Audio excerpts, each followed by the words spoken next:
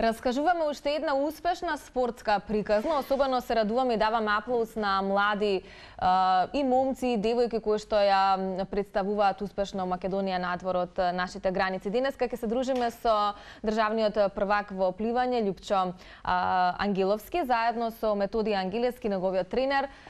Нашето прво друштво за денеска гоце. Да, добро утро. Добро утро. Добро утро. Од тренерот некако наутро вака по сабајлички како трема да си има или не е нешто важно? Не, не. Не? Никако. Тоа кога ја не сум главна улога и кога не малтретирам туги деца.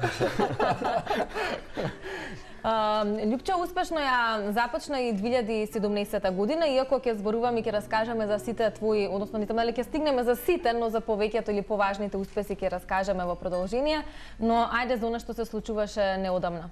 Па сега во јануари имавме припреми во Словенија во Крањ и после тие припреми имавме надпреварување А, таму успеав да го постигнам новиот македонски рекорд на 50 метри крал во големи базени.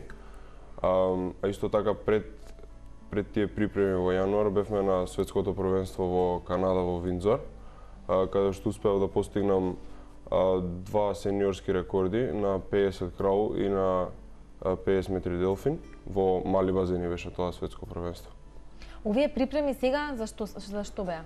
Па овие припреми сега беа како еден почеток за за светското првенство кое ќе се одржува во јули во Будимпешта, mm -hmm. каде што треба да исплювам норма за да отидам и сега се тоа е подготовка за таму. Да, подготовките предпоставувам дека се со еден интензитет за да се успее или пак не само да се биде дел од тоа светско или меѓународно надпреварување пливачко, но и да се биде да се остави еден добар впечаток. Што значат добри подготовки? Ова е за нас, како што кажа Липчо почеток. Ние се стремиме да учествуваме на Олимпијадата во Токио. И ова е прва влезна година, Липчо како сениор, каде што ние мораме да малце по, да ги расшириме а, нашите подготовки, да тренираме заедно со словенците, со тие кои што се малце поорганизирани од нас и да направиме што поголема база како би можеле да рачунаме на некаков резултат во иднина. Кои се нормите за во Токио?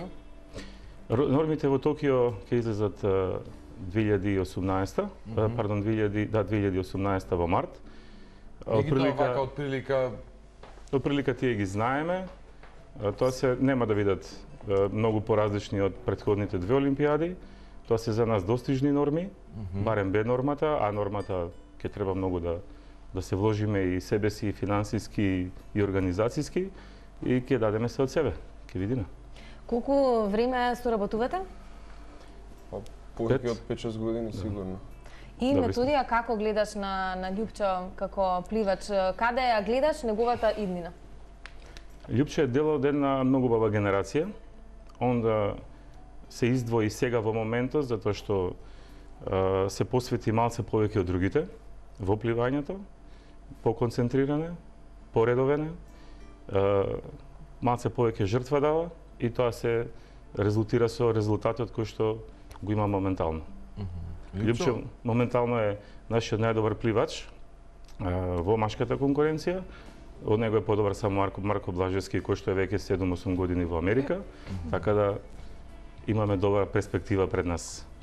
Кои се оптималните или пак нормални услови за да се биде еден добар пливач или пак за едноставно да се засакаат водите и базенот? Па, вие да се како како, али ние што сме научени е да има топла вода и да да имаме термин кај што ќе може да пливаме без да не да не да ни врши некој притисок дали треба да искочиме или не.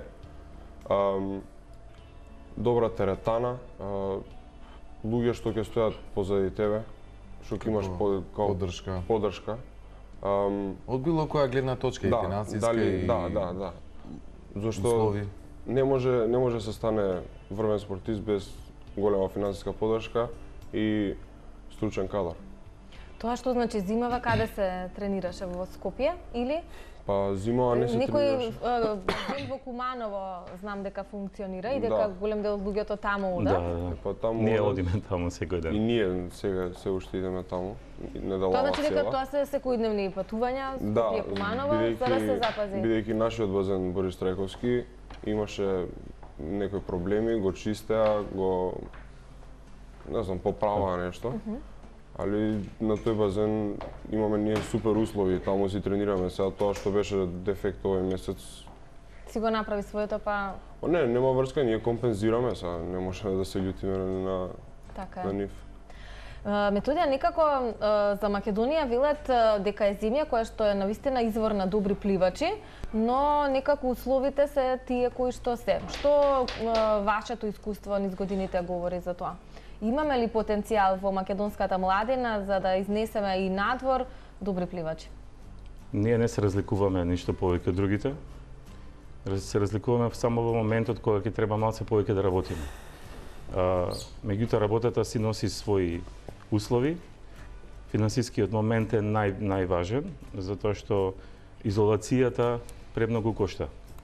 Тоа значи дека едни подготовки во Словенија од 15 дена нас не кошта по, по 30.000 денари по човек и тоа она редуцирање финансиски.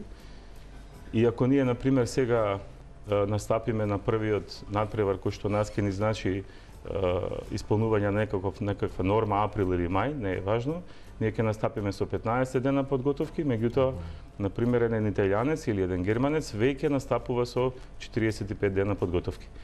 Така да, моментот кога се прекршува резултатот спортски, да кажам, потфрламе во тој таа финансиска поддршка. Самата желба што ја имаат кај нас децата или веќе изградените пливачи не е доволна за да ние се носиме заедно со со појаките наши конкуренти Треба се работа. Пливање и останати други Значи, спортски а, многу е важно да се каже дека ние не бегаме од работа. Ние не бегаме од работа. Самиот факт што од нас ни беа потребни само 15 дена во Словенија за да може Лјупчо да го постигне последниот рекорд што го постигна или она што го направивме во Винзор со исто така претходни подготовки покажува дека имаме некаков потенцијал, дека се наоѓаме во една златна средина на за нас моментално на светското на светското пливање, меѓутоа ако сакаме нешто повеќе, ќе треба да бидеме навистина малку посериозни од ова што сме сега моментално. Слушаш Липчо? Пред малку во кадар го погледнавме ова, тоа е од Европските игри во Баку, каде Баку. што да, кога се случува? Тоа беа летото 2015 година. Така, ти беше првиот македонски пливач кој што беше дел од сето тоа или? Да, јас и уште две мои другарки отидовме на тие европски игри во Баку. И Што се случуваше таму со какви успеси или резултати се врати, што Таму постигна? постои младински држан рекорд на грмно, на 50 метри грмно. А, имав убави трки, се тоа беше ново за мене. Тоа е како Олимпијада, ама со држави од Европа и тоа е едно големо искуство и можете да замислите каков, каква трема сум имал во тој момент, али тогаш сум бил уште млад. Не знам, сега е подруго више. Ама од тогаш кога ја тргна тремата на страна, Да, сега е Се Само успеси поголеми. ни донесе и неколку освоени медали, ова се два, таму имаме на маса уште неколку, вака може да ги покажеме само да ми ги додадеш. Еве ги, па заеднички еве да ги скоментираме. Успеси и нели постојано се се нижат. Спомени методија дека со си се издвоил од толпата заради тоа што си пожртвуван, се вложуваш многу повеќе и слично. Најдрагото надпреварување кое е? Сега за сега? Па, сега за сега најдраго надпреварување ми беше светското во Винзор. Бидејќи ја а, уште во февруар прв пат кога го бутнав мојот рекорд на 50 метри делфин во мали базени, ја фатив таа норма за да учествувам на тоа светско и ја а, бев најсреќен од сите можеби. Бидејќи кидам на светско првенство, језда е на мали базени, али сепак е нешто големо. е светско. Да. А канаѓаните се потрудија да го организираат тоа на многу високо ниво. Наистина вреди тоа светско првенство да се спомене. Италијанска фирма која што е специјал веќе има долгогодишен договор со светската наша федерација пливачка Мирта Пул се потруди во хокеј арената во Винзор да направи монтажен базен и сето тоа да изгледа феноменално. Значи да ја се примети ни еден да. момент дека е тоа хокеј арена. Да, беше навистина фантастично и мотивацијски за за нашите пливачи. Со то таму се вративме со не знам, мислам некои 15 на рекорди. Mm -hmm. Бевме малце поголема екипа, имавме помош од нашите нашите американци кои што студираат во во Америка, Анастасија Богдановски, Дамјан Петровски и Марко Блажевски заедно со со Љупчо Горас Чепишевски, кои што направија еден одличен резултат. Прв пат настапивме како штафета и, и не знам, мислам дека 9 секунди на 4 по 50 мешано го соборивме македонскиот рекорд, што за нас беше 15 сме у свет. Тоа е добро за нас. Едно многу убаво искуство и ако може да искористам оваа прилика, нашата македонска заедница да изразам еден, една огромна благодарност, да не беа тие, ки имавме малце повеќе тешкоти, многу ни помогна. Супер. Да, и да не беа тие ќе беше малце поинако. Да, поздрав и од нас до до тие кои го имаат чувството или пак сенсот за да дадат поддршка на младите, на особено на спортистите, оние кои што ете се надпреваруваат или пак се подготвуваат во во земјите каде што каде што тие живеат. Кога веќе се оди на надпревари или пак на ете дел од едни олимписки игри или пак од светски или меѓународни првенства, кога веќе се брка одреден резултат. Пред, подготовките се концентрираш само на себе, на своите лични досегашни еве искуства и мотивации или пак се следат и останатите времења на противниците, па тука некаде се врши одреден притисок? Па сега видете зависи како е одредено од нашата пливачка федерација. Сите сме конкуренција едни со други, но сите сме другари ние, сите се знаеме. И сега нормално е дека секој сака да иде.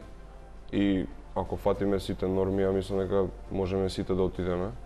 Но сега ако е ограничено, како на пример што е ограничено на секое светско дека на од една дисциплина двајца можат да идат. Е сега ако сме тројца само во таа дисциплина, тој што ќе има најслабо време нема да. И сега нормално е дека едни со други ќе ќе си бидеме конкуренција и ќе се гледаме кој како плива Не мислев за останатите странски пливачи, дали се бориш лично да ги подобриш, да го подобриш па, својот собствен, да. собствен рекорд или пак да стигнеш што е можно повеќе Па, видете сега со поголем со поубав пласман, ја би го подобрил рекордот секако, пошто не може со ние со еден наш рекорд, ете сме на некоја златна средина, да кажеме.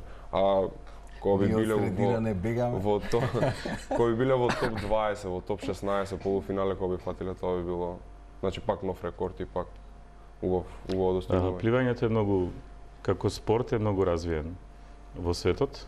А, дори и малите земји како што сме ние имаат а, своја стратегија за настап на на во пливањето како спорт на Олимписките игри пошто покрај атлетиката пливањето е најважниот спорт, најгледаниот спорт и спорт во кој што најмногу се вложува. Така да ако во без разлика кој друг спорт и да го земам како пример, ако имате конкурентни 10 земји, во пливањето тоа се 120 земји. Така да вие кој ќе отидете на светско првенство и кој ќе бидете 40, тоа не е за подценување. Меѓутоа нашата цел е да да бидеме ние иако не ни фали многу, да бидеме меѓу првите 16, да имаме шанса да влеземе во полуфинални, дај Боже финални трки. Меѓутоа, како што реков, тоа е тоа е извонредно тешко, треба да се одработи, треба да се да, да се биде стрплив и е тоа е еден, една долгогодишна работа, значи нема овдека ништо преку ноќ, тоа мора се да биде во циклус, циклусот обично е 4 години. Нашите пливачи завршуваат со завршување на средната школа, не ја гледаат перспективата да продолжат кога се на факултет, затоа што нема финансиски фидбек, треба само да даваш, треба само да работиш. И тука доаѓа моментот кога треба да се препознае, системот треба да препознае еден талент во кој што треба да да, да вложи. Така да, значи, прашањето ви е многу добро. Лјупчо се разликува тука е, од е, повеќето пливачи, не само наши, Е, значи кај него на старт вие можете да видите одлучност, решителност дека тој тоа треба да го одработи и да го даде својот максимум. И ако треба, нешто и повеќе. Тој тоа успева да го направи, тоа се виде во Винзор. Нашите беа воодушевени mm -hmm. таму од него, од неговата посветеност како тоа треба да се одработи, така да вие кога имате таков пливач, мислам не е единствен, затоа реков дека еден дел, дел од една генерација, значи треба да се подржи, треба да се негува и треба да се оди понатака. Не тоа да заврши сега сме биле на светско првенство или ќе отидеме на Олимпијада, што многу често не се случува, и да тука заврши таа приказна. Значи тоа треба да биде. Го споменавте? Многу мотивирачки така. Така треба. Така Видите, да, да, да. мотивирани сме од последното нели светско првенство на нашите ракометари. Примерот на Кира Лазаров е пример за сите нас како тоа треба да треба да изгледа и и понатака во животот, а не само да се заврши на некоја возраст. Го споминавте школувањето. Лјупчо е најдобриот македонски пливач во моментов, па прашањето ми е колку трпи а, школото, колку трпи социјалниот живот, семејството, пријателите, љубовта. Па, видете, школото не може да се занемари никако. Повеќе трпат социјалниот живот и и роднините и значи сите ми се јавуваат и ми викаат кај сите нема нигде се изгуби као сега демек mm -hmm. на светско првенство беше и нигде те нема. Се правиш. Тој е некој синдром да, македонски. Баш така, Што не може да се искорени? Не, не им е јасно дека ја не можам да искочам од дома пошто сум заглавен со тренези. Добро, да, кој сватил, сватил, кој Да. не, важно Не, тоа е човек повеќе да си шала, го отколку- тера својот филм, свој она што го влече, го си го замислува и своите потенцијали да ги искористи на најдобар можен начин.